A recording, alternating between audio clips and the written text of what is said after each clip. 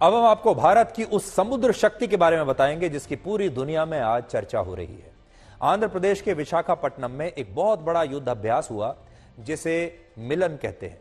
और इस युद्ध अभ्यास में 50 से ज़्यादा देशों की नौसेनाओं ने हिस्सा लिया और इस दौरान इन सभी देशों की नौसेनाएँ भारत के आईएनएस विक्रांत और आईएनएस विक्रमादित्य की ताकत को देखकर हैरान थी। और ये made in India aircraft carriers हैं जिन्होंने पहली बार इस युद्ध अभ्यास में हिस्सा लिया है और इनकी तस्वीरें देखकर आज आप हैरान रह जाएँगे। इतनी शानदार तस्वीरें आज हम आपको दिखाने वाले हैं। इन शानदार और भव्य तस्वीरों में आप देख पाएँगे, आईएनएस विक्रांत दो सौ बासठ मीटर लंबा और बासठ मीटर चौड़ा है और यह इतना विशाल है कि इस एयरक्राफ्ट कैरियर पर एक साथ 30 से ज़्यादा फाइटर जेट्स और हेलीकॉप्टर्स तैनात हो सकते हैं। और इस पर भारतीय नौसेना के 1700 नौसैनिकों को भी तैनात किया जा सकता है एक बार में। जबकि आईएनएस विक्रमादित्य इससे भी बड़ा एयरक्राफ्ट कैरियर है, जिसे फ्लोटिंग सिटी यानी एक तैरता हुआ शहर कहा जाता है। और यह इतना विशाल है कि इसमें फुटबॉल के तीन स्टेडियम समा सकते हैं और अब आप बंगाल की खाड़ी से नए भारत की इस नई समुद्र शक्ति पर हमारी ये विशेष और भव्य रिपोर्ट देखिए।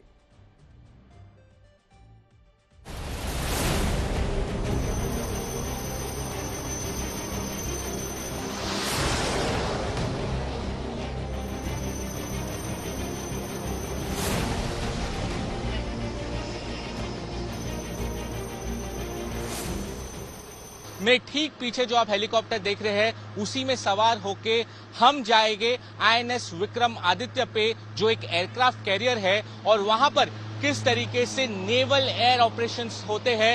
लगभग आधे घंटे के सफ़र के बाद अब हम आईएनएस विक्रम आदित्य पर पहुँच चुके हैं, और इस वक्त हम वे ऑफ़ बंगाल में हैं, और ये जो जगह है, वो लगभग 90 किलोमीटर दूर है विशाखापट्टनम पोर्ट से, और आईएनएस पर इस वक्त नेवल ऑपरेशन होने वाले हैं।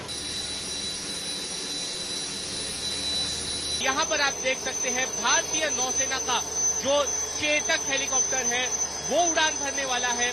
इस वक्त जो आप तस्वीरों में देख रहे हो, वो मिग 29 के है और सॉटीज लगातार लगा रहा है।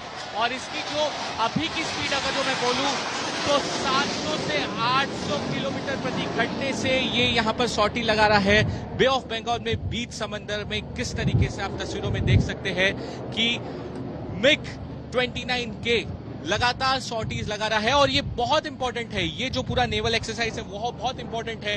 किस तरीके से इंडियन नेवी एक शक्ति प्रदर्शन यहाँ पर कर रहा है। यहाँ पर आप देखें, कई सारी sorties search and rescue operation के बाद जो हेलीकॉप्टर चेतक है वो इस समय यहाँ पर आईएनएस विक्रमादित्य पर लैंड किया जा रहा है। आप देखें किस तरीके से पहले उसने अपना शक्ति प्रदर्शन किया, लगातार सर्च और रेस्क्यू ऑपरेशन किया और अब यहाँ पर सर्च रेस्क्यू ऑपरेशन करने के बाद जो हेलीकॉप्टर चेतक है, वो फिर से आईएनएस विक्रमादित्य पर लैंड हो चुका है। एयरक्राफ्ट पे एक टेल हुक होता है, जो आपने देखा होगा जब लैंडिंग हो रही थी। और फ़्लाइट डेक पे पीछे की ओर आपको तीन वायर दिखेंगे, जो इतने डिस्टेंस अबाउट चार इंच डेक से उठे हुए होते हैं वायर होते हैं। और ये वायर नीचे जाकर के हाइड्रोलिक इंजन से कनेक्टेड रहते हैं। मैं जब लैंडिंग करने आता हूँ तो मैं फ्लेयर आउट नहीं करता, मैं क्वेश्चन नहीं करता लैंडिंग को। मैं फुल फोर्स के साथ लैंडिंग करता हूँ ताकि एकदम प्रिसीजन लैंडिंग हो। और इस प्रिसीजन लैंडिंग के होते हुए हुक का टचडाउन पॉइंट मीटर में गिना जाता है। Less than a meter point one point two meter में गिना जाता है। वो जब हुक टचडाउन होता है तो वायर उसके आगे जो वायर है, वो उसको एंगेज कर देता है। और नीचे जो हाइड्रोलिक इंजन है वो उसको एयरक्राफ्ट को खींच करके रुकते हैं which is what you saw इसका है अप्रोच स्पीड मान लो लगभग 270 किलोमीटर एन आर 1.2 सेकंड्स में from 270 kilometre an hour to zero is the forces experience by the aircraft INS Vikramaditya जो कि इंडियन एयरक्राफ्ट कैरियर है उस पर इस तरीके से आप जब हेलीकॉप्टर चलाते हैं इसका एक्सपीरियंस बताइए। चेतक हमारे नेवी का सबसे पुराना हेलीकॉप्टर है। चेतक हमेशा हमेशा ऐसे ही नेवी में सर्च एंड रेस्क्यू रोल पे का, का, काम करते आ रहे हैं। लगभग सिक्सटी इयर्स हो चुके हैं। चेतक को अपने भारतीय नौसेना पे जब पहली बार इसको हमने इंडक किया था। And search and rescue is one of the most important aspect of carrier operation जब भी हमारे जो फाइटर एयरक्राफ्ट है जब भी ये लोग उड़ान भरते हैं तो उनको अगर खुदा ना खास्ता अगर कुछ एक्सीडेंट या एक्सीडेंट हो जाए उनको बचाने के लिए हम तुरंत वहाँ पे पहुँच जाते हैं। इसलिए जब भी भी इंडियन नेवी में फाइटर फ्लाइंग होती है एयरक्राफ्ट कैरियर पे तो हमेशा एस रोल पे हमारे या तो चेतक या तो एलएच दोनों जहाज़ रेडी होते हैं। मुझे कहना चाहिए कि we are not we are total of seven women officers but हम uh, शायद नेवी भी हमें ऐसे ही देखती है और हम भी अपने आप को एक ऑफिसर के रोल में देखते हैं ना कि महिला के रोल पे। बट एनवायरनमेंट बहुत अच्छा है। It is not different from any